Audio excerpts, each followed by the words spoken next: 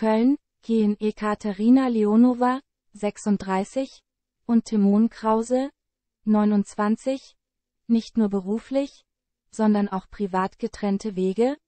Nach den hartnäckigen Liebesgerüchten um das Let's Dance Duo soll jetzt alles aus und vorbei sein. Öffentlich bestätigt haben die Profitänzerin und der Mentalist ihre vermeintliche Beziehung nie. Trotzdem gingen bis dato viele Fans, die die vergangene Let's Dance Staffel verfolgt haben, davon aus, dass die beiden nicht nur auf dem Tanzparkett, sondern auch im privaten Kontext ein echtes Traumpaar sind. Dabei war es in den vergangenen Monaten recht still um Eckart und ihren Gedächtniskünstler geworden, doch jetzt brodelt die Gerüchteküche erneut.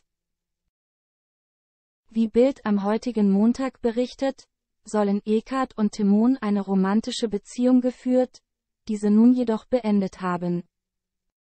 Das will die Zeitung von einem Freund der RTL-Stars erfahren haben.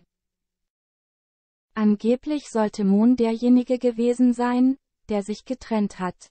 Die Rede ist von einem bitterbösen Bruch.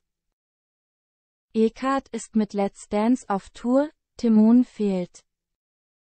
Eckart reist seit dem 7. November im Rahmen der Let's Dance Tour 2023 durchs Land, allerdings ohne Timon. Der Mentalist ist bei dem großen Live-Spektakel, das noch bis zum 4. Dezember in vielen Städten stattfindet, nicht dabei. Als Grund hatte der 29-Jährige zuletzt angegeben, dass er im Herbst, zur Zeit der intensiven Vorbereitungen, extrem zeitintensiv an seinem neuen Live-Programm für 2024 sowie an einem weiteren, großen Projekt mit Deadline Ende des Jahres arbeiten musste. Dass ich nicht im Line-up verkündet wurde, hängt nicht damit zusammen, dass ich keine Lust hätte, habe ich, oder die Let's Dance Family mir nicht ans Herz gewachsen wäre, ist sie, hatte er bei Instagram klargestellt.